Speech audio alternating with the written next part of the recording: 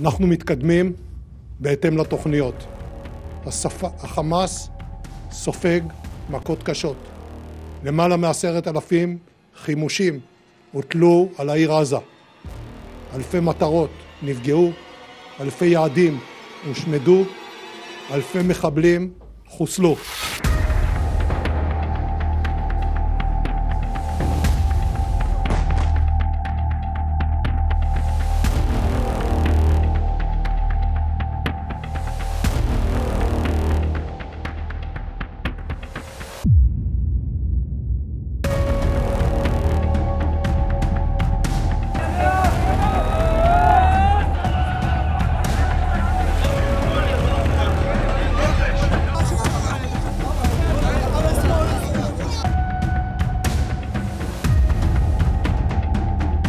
זו מלחמת אין ברירה. חייבים לנצח במלחמה, יהיה המחיר אשר יהיה, ויהיה משך הזמן אשר יהיה, וגם אם זה לא ימצא חן בעיני חלק מאומות העולם,